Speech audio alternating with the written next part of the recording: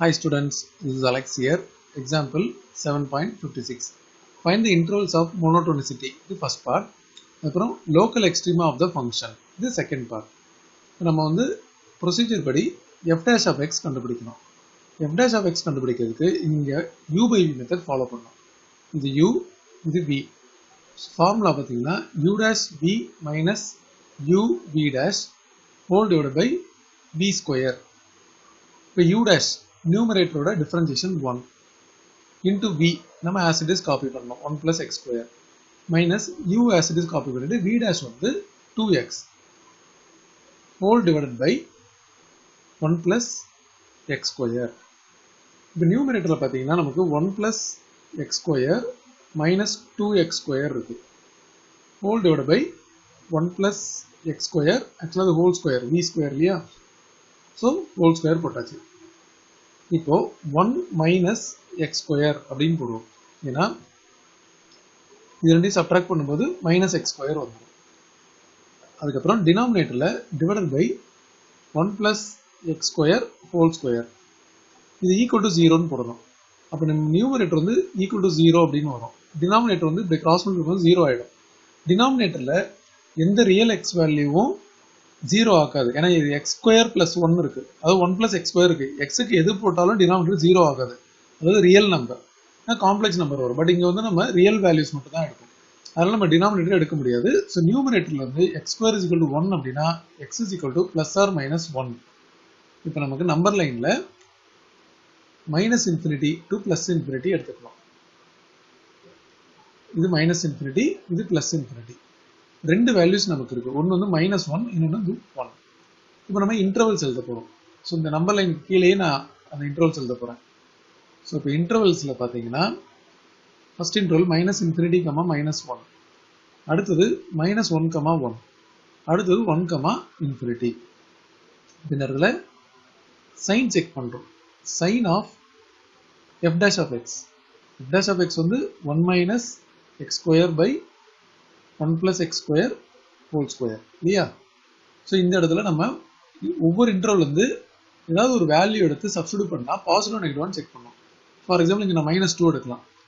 நம்ம minus two substitute பண்ணால் என்ன ஆகும்? அதாவது f dash of minus two அப்படிங்கும்போது நியூமரேட்டரில் வந்து ஒன் மைனஸ் இதை ஸ்கொயர் பண்ணும்போது ஃபோர் ஆகிடும் டினாமினேட்டரை பற்றி நம்ம ஒரி பண்ண வேண்டாம். ஏன்னா அது எல்லாமே ஹோல் ஸ்கொயர் இருக்குது ஸோ இது வந்து ஃபோர் ஆகிடும் அதுக்கு ஆல்ரெடி ஸ்கொயர் இருக்குது டோட்டலாக நியூமரிக்கலில் மைனஸ் த்ரீ இருக்கிறதுனால இது வந்து நெகட்டிவ் ஸோ நாங்கள் கீழே எழுதிடுறேன். ஸோ இது வந்து நெகட்டிவ் அப்போ நெகட்டிவ் அப்படின்றது எஃப் ஆஃப் எக்ஸ் வந்து லெஸ் தேன் ஜீரோ இந்த இன்டர்வல் சரி அடுத்தது. இதில் வந்து ஒரு வேல்யூ ஜீரோ எடுத்துக்கலாம். இப்போ நான் ஜீரோ சப்ஸ்டியூட் பண்ணால் இங்கே என்ன ஆகும்? எஃப்டேஸ் ஆஃப் ஜீரோ அப்படின்னு போடுவோம்.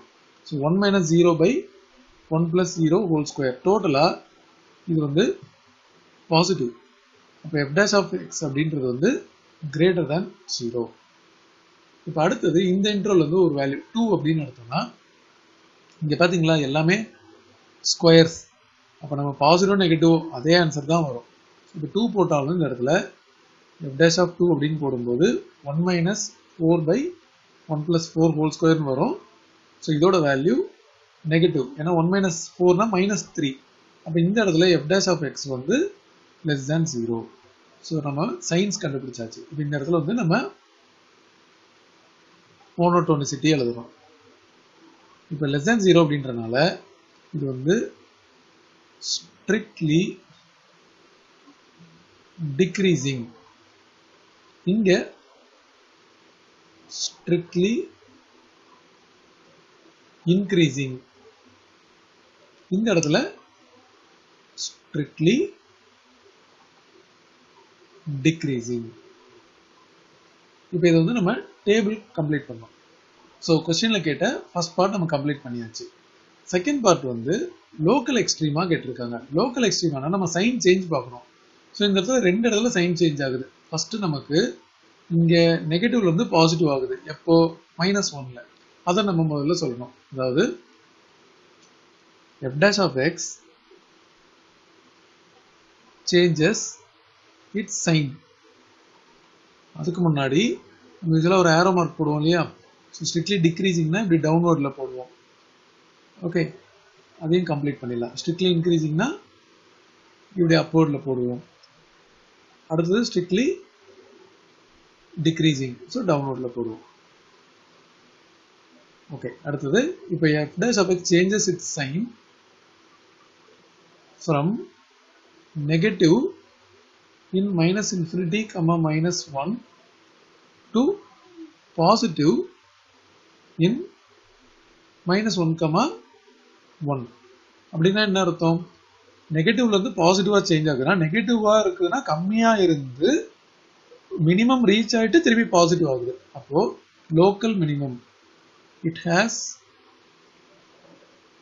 local minimum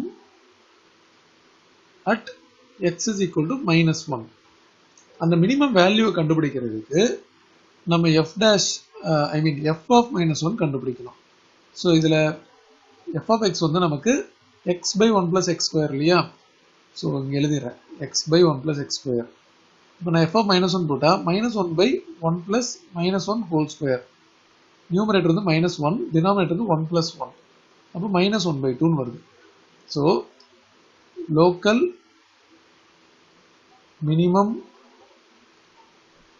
value equal to minus 1 by 2 இதே மாதிரி இன்னொரு சைன் சேஞ்ச் நடக்குது. அதாவது இங்கே பாசிட்டிவ் வருது இப்போ நெகட்டிவ் ஆகுது. எங்கன்னா ஒன்ல அதை நம்ம சொல்ல போறோம். இதே மாதிரி f dash of x changes its sign from positive in minus 1 comma 1 to negative in 1 comma infinity. அப்படின்னா என்ன அர்த்தம்? Therefore f of x has local அதாவது பாசிட்டிவா இருக்குன்னா அதிகமாகி அதிகமாகி மேக்ஸும் ரீச் ஆன பிறகு நெகட்டிவ் வருது. அப்போ அது அதுக்கு வந்து மேக்ஸிமம் இருக்குன்னு அந்த f of x has local maximum இப்போ மேக்ஸிமம் வேல்யூ வேணும் அப்படின்னா அதாவது maximum at x is equal to one f of one கண்டுபிடிக்கணும். ஸோ இந்த ஃபங்க்ஷனில் சப்ஸ்டியூட் பண்ணும்போது one by one plus one square அப்போ டோட்டலாக ஒன் பை டூ அப்போ local maximum value local maximum value equal to one by two இதை base பண்ணி நம்ம வந்து ஒரு ரஃப் கிராஃப் பிளாட் பண்ணலாம். ஸோ இப்போ நம்ம வந்து என்ன பண்ணோம்னா இப்படி ஒரு எக்ஸ் ஆக்சிஸ் ஒய் ஆக்சிஸ் எடுத்துக்கணும். இதில் வந்து மைனஸ் இன்ஃபினிட்டி ப்ளஸ் இன்ஃபினிட்டி இருக்குது இங்கே ஜீரோ இருக்குது நமக்கு கிடைச்ச வேல்யூ வந்து minus one and plus one இதில் மேக்ஸிமம் மினிமம் வேல்யூ பார்த்தீங்களா?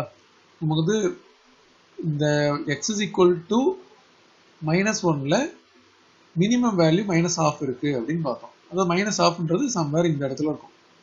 ஓகே இங்கே எடுத்துக்கலாம். அதே மாதிரி எஃப் ஆஃப் ஜீரோ வந்து ஜீரோ தான் வரும். அந்த எக்ஸை சப்ஸ்டியூட் பண்ணால் ஒன்ல வந்து ப்ளஸ் ஹாஃப் இருக்குது ஸோ இப்போ நம்ம கிராஃப் எப்படி வரும்னு பார்த்தீங்கன்னா இங்கே மைனஸ் ஒன்லேருந்து இப்படி ஜீரோ வழியாக போய் இந்த பக்கம் இது ரீச் ஆகுது.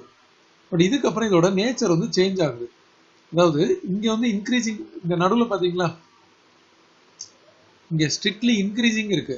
அதுக்கு முன்னாடியும் பின்னாடி டிக்ரீசிங் அப்போ இந்த இடத்துல இன்க்ரீசிங்ன்றனால இந்த மைனஸ் ஒன்லேருந்து இந்த வேல்யூ அப்படியே இன்க்ரீஸ் ஆகி சாரி மைனஸ் ஹாஃப்ல இருந்து இன்க்ரீஸ் ஆகி ஜீரோ ரீச் ஆகி இங்கே ப்ளஸ் ஹாஃப் வந்துருச்சு.